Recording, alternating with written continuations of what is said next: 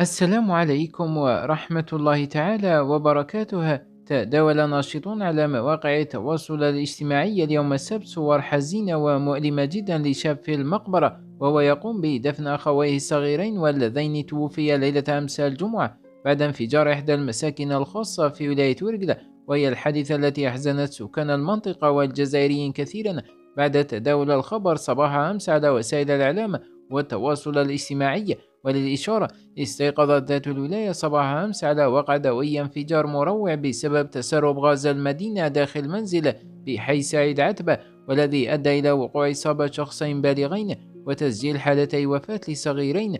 وتنقل السيد والي الولاية مصطفى غامير بمعية الأمين العام للولاية وقائد القطاع العسكري ورئيس أمن الولاية ورئيس المجلس الشعبي البلدي إلى مكان الحادث ثم إلى المستشفى لمتابعة حالة التكفل بالمصابين وتفاعل الجزائريون مع هذا الشاب ودعوا له بالصبر في مصابه الجلل.